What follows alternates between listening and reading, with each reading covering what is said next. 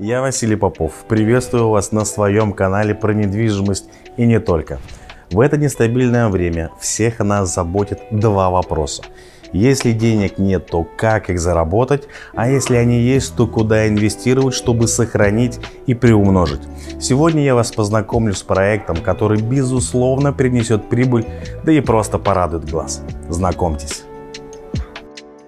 Гостиничный комплекс «Нескучный сад» будет находиться в курортном городке Адлера в 500 метрах от моря. Здесь есть вся инфраструктура для отдыха, парк развлечения, рестораны и многое другое. Застройщик уже хорошо знакомая нам компания «Неометрия». На 4,5 гектарах расположится два десятиэтажных корпуса в стиле европейской архитектуры. Вокруг благоустроенная территория со своей уникальной средой. Три бассейна, один из которых с морской водой. Спа-зона, фитнес-центр, кафе и рестораны. В общем, это целый город роскоши и комфорта. А функция доверительного управления позволит вам получать удовольствие как от пребывания тут, так и от прибыли, когда вы далеко. Скачать подробную презентацию объекта с планировками вы можете в описании под этим видео. Давайте же узнаем из первых уст о преимуществах и недостатках этого проекта, если нам о них, конечно, расскажет. Георгий, приветствую.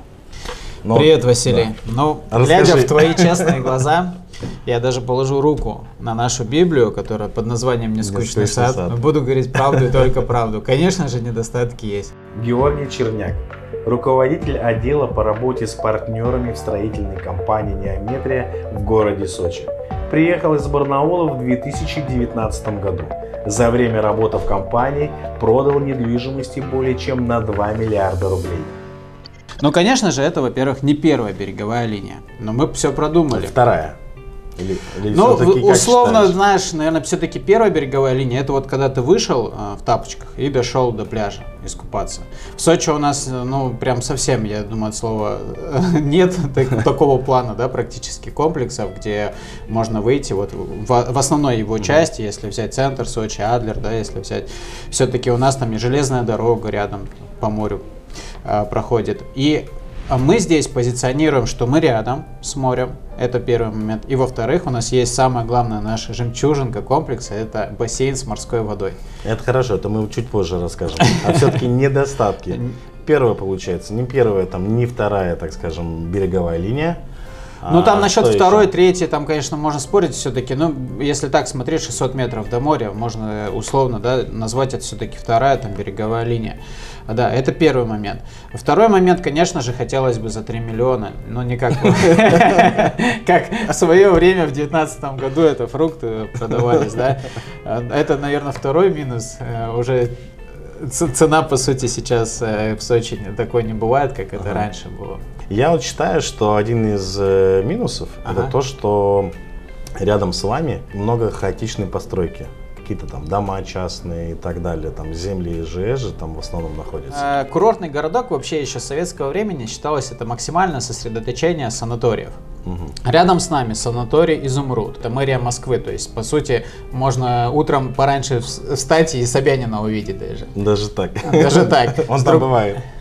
Ну а почему бы ему и не быть, если это мэрия Москвы? С другой стороны, у нас э, ведомственный санаторий «Орбита». Прямо мы смотрим тоже, там у нас э, большое количество санаториев распределено вдоль линии, там это и Кораллы, Фрегаты, и Адлер Курорт, и Южный, и прочие, прочие все санатории еще с того времени э, спокойно функционируют. И более того, в них даже осталась медицинская база, и часто же люди в Сочи приезжают не только отдохнуть, но и подлечить здоровье. Мы об этом часто забываем. А ко мне часто обращаются клиенты, они не готовы жить в санатории. Они не, ну, там еще к сожалению, нет того сервиса, который готовы оказывать э, пятизвездочные гостиницы. И люди спокойно могут остановиться рядом с нами, ходить на процедуры пешком и получать другого качества сервис в виде торговли, э, ресторанов, там, конференц-залов, э, фитнес, спа и прочих, прочих процедур. А, плюс э, еще особенность участка все-таки такова, ты обязательно же вставишь это в ролик, угу. полетаешь, например, улица Ленина, от нее огромный зеленый пояс нас огораживает от всего остального соседства. То есть даже несмотря на то, что все-таки там санатории они есть, они советские, но что мы в приватной зоне. И это очень важный плюс, потому что в Сочи у нас редко, даже когда люди на первой береговой линии, не всегда uh-huh. есть приватность там из-за железной дороги и прочих моментов. Поэтому тот реликтовый лес, который еще сохранился со времен, с советских времен, когда там Все был санаторий, да, мы по максимуму сохраняем, конечно же, на, на участке это уже сейчас видно, он подготовлен уже к э, первому этапу земляных работ, поэтому это видно. Правда ли, что это первый, точнее единственный в городе Сочи э, гостиничный комплекс, который строится по федеральному закону 214? И почему это именно гостиничный комплекс, да, а не апартаменты, как мы привыкли называть там апарт-отели? На самом деле это первый гостиничный комплекс.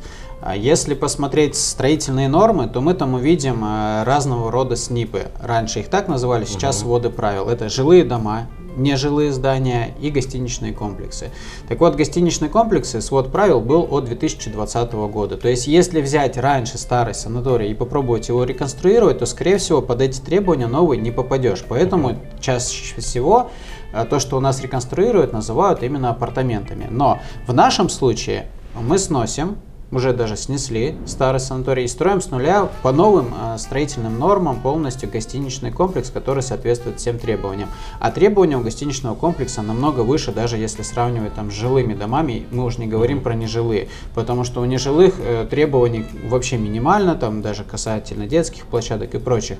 То есть ты был в гостинице, знаешь, то, что должен быть определенного уровня фойе, багажное отделение, а, должны быть на каждом этаже отдельные помещения для технического персонала, курилки и прочие-прочие моменты. Зачастую в Сочи, мы же в Сочи находимся, если апартаменты, то все эти технические помещения же вы продали бы, правильно? У нас даже по закону это запрещено, то есть а, гарантия того, что комплекс запроектирован по этим нормам и в дальнейшем то, что он реализуется в рамках 214 федерального закона, то, что сервис, тот, который гостиница предполагает, он в любом случае будет. На сегодняшний день люди в основном стараются купить либо на, на предсдаче, либо уже сданный объект, да, и сдавать его в аренду.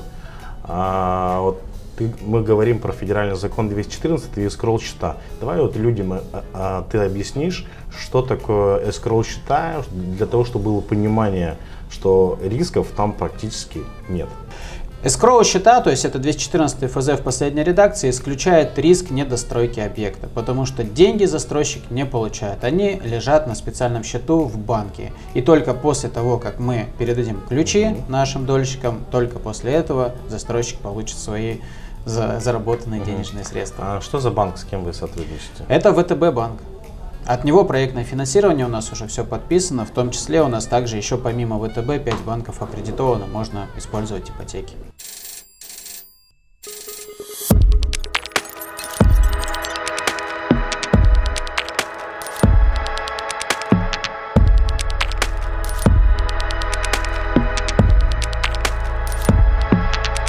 Узнать актуальные цены и условия покупки вы всегда можете, перейдя по ссылке, которая будет указана в описании. Георгий, когда был старт продаж?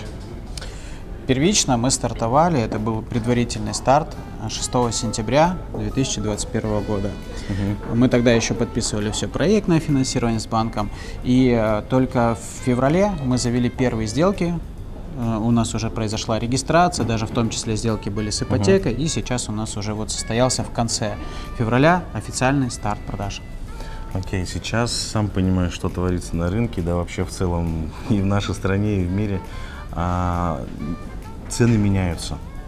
Вот, допустим, э, есть жилые комплексы, которые за неделю там три раза подняли стоимость. Угу. Что у вас творится? Как вы э, ценообразование выстраиваете?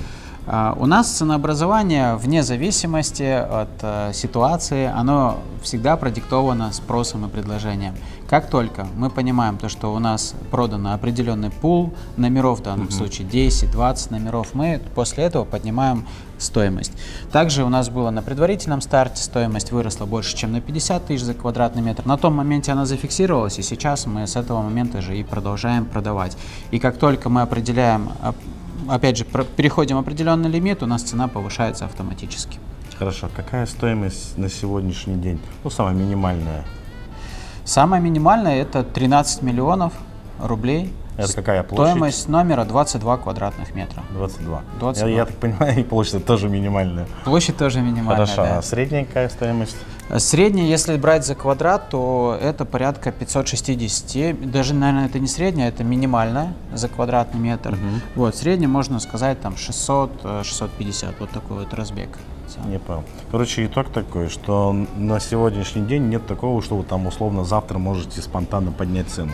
Спонтанно нет, это все-таки математическая модель с учетом того, что проектное финансирование от банка, мы четко понимаем процентные ставки, а, а, как нам эти деньги достались, и четко понимаем экономику, себестоимость нашего продукта. Поэтому здесь без спонтанных решений это все четко продумано. Спрос вырос за последний месяц? Есть ли ажиотаж? Да, у нас, как понимаешь, не только один комплекс.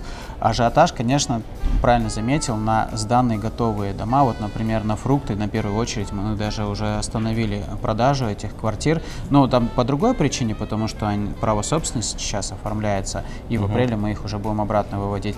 А что касается остальных проектов, мы также, по сути, стартовали сейчас э, и вторая очередь Флоры у нас сейчас на э, этапе там э, подземной парковки монолитные работы ведутся, и не скучный сад, то мы здесь видим равномерное повышение спроса, так скажем.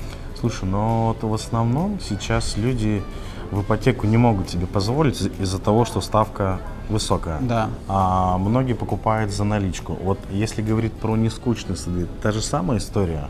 Есть у нас субсидированная ставка минус 2% от стандартной ставки. Сейчас стандартные ставки, например, если от Сбербанка взять 18,6, то есть мы можем предоставить э, под э, 16,6. Можем на первый год 6,7 сделать процентную ставку, то есть люди тоже используют эти механизмы, но чаще всего, конечно, у нас э, в Сочи покупают за наличку, и только кто вот э, готовые дома, вот как им уже переезжать сейчас, зажить, то они в первую очередь, конечно, рассматривают для себя ипотеку. Рассрочка в нескучных садах есть?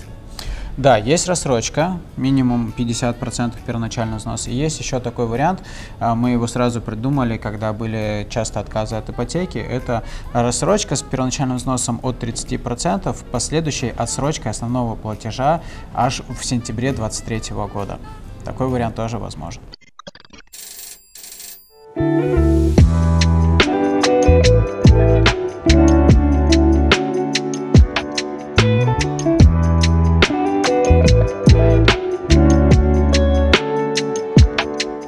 Вас остались вопросы или вы хотите подробнее познакомиться с данным объектом, вы можете записаться на бесплатную онлайн-презентацию. Просто переходите по ссылке под этим видео. Слушай, в Сочи сам знаешь, что сейсмоустойчивость как бы очень важна. Вот, допустим, недавно было небольшое, но землетрясение. Да. Даже я сам почувствовал себя дома. А вы заявляете, что ваши помещения, ваши здания выдержат 8 баллов. Да, то есть именно мы рассчитали так, что за сейсмоустойчивость заложили под 8 баллов. Это такие серьезные разрывы в земле, но при этом дома будут стоять. То есть это вот прям, это не, это не маркетинг точно. Не, ну если хочешь, я мамой поклянусь. Тоже хороший вариант, почему бы нет? Окей, э, также вы заявляете, что у вас э, э, там экологические материалы очень много. Опять же, это, еще раз повторюсь, маркетинг или все-таки реально там какие-то будут В любом э, случае, нанотехнологии? в любом случае, ты же видишь, как бетон, он есть бетон, я не знаю, что там. да, А но- может фасад какой-то у вас там. фасад в любом случае, да, это наша визитная карточка. Здесь мы уже травертин используем, натуральный камень, первые два этажа выше, с третьего по десятый это уже композитные материалы. сегодняшние санкции позволят это решить? Но, к счастью, натуральный камень и прочие ископаемые у нас в стране есть, поэтому Не будет с этим, Я думаю, с этим проблем будет как меньше всего, как минимум.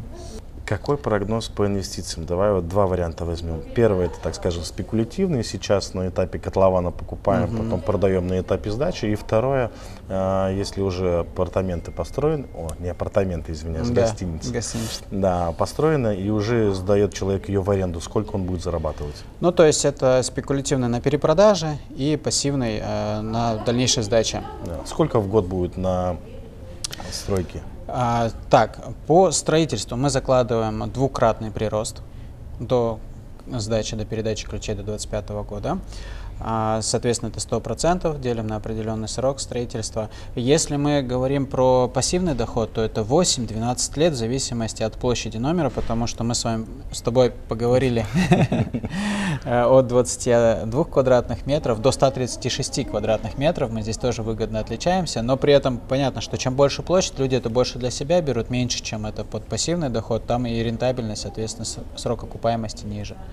Слушай, ну на самом деле радует э, слышать о том, что не там 4, 5, 6 лет, что многие любят заявлять такие красивые цифры, что вот 12 лет это, это реально. Отбить э, свой апартамент, выйти в ноль, да, так скажем. Номер, гостиничный номер. А, извиняюсь, я все апартамент.